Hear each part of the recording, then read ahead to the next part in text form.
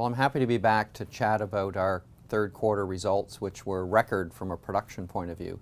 And the key driver for that record production was an outstanding performance from our Meadowbank mine, which saw higher grades in certain parts of the open pit to drive the second half production. But we also saw the return of Kittilä. We did have some extended maintenance in the second quarter, so Kittilä was back and had itself a record quarter. Third quarter costs on a unit cost basis are extremely attractive.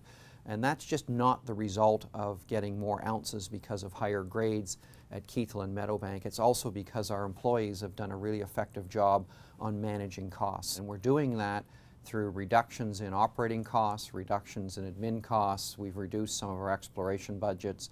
We've also looked at our discretionary capital. So for the things that we can control, which is our production and our ability to produce gold and our, and our cost to produce the gold, uh, our teams have done an exceptional job this year, and we expect that to continue. And this is the seventh consecutive quarter that we've met or exceeded our production and cost targets. The disappointing part is really the share price, is despite the fact that we're meeting all of our operating goals in terms of production and costs, the share price is, has clearly not performed. And that's a reflection, we think, of the gold price going down significantly, which puts uh, strain and stress on, on the industry and the businesses. But we don't control the gold price, so it's really about how we can adapt uh, to the volatile and lower gold price environment. And we've had a history of being able to adapt and solve problems, and uh, that's what we're going to do. The nice thing about uh, our positioning now is we can continue to grow our production base. The production growth is really coming from uh, three principal areas. One is LaRonde.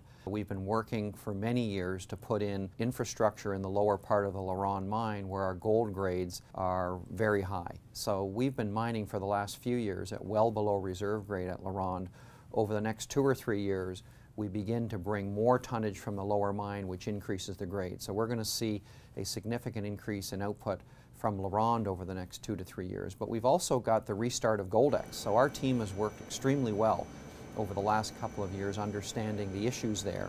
And we've actually poured gold for the first time in two years at Goldex with the restart on the satellite zones. And we have another new mine starting, La India in Mexico. And that's a testament to our ability to do business in northern Mexico. We acquired that project two years ago.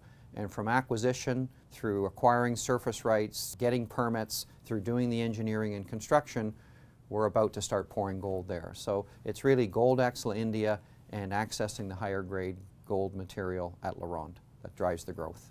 In the gold business, it's really about long term. The gold price we don't control.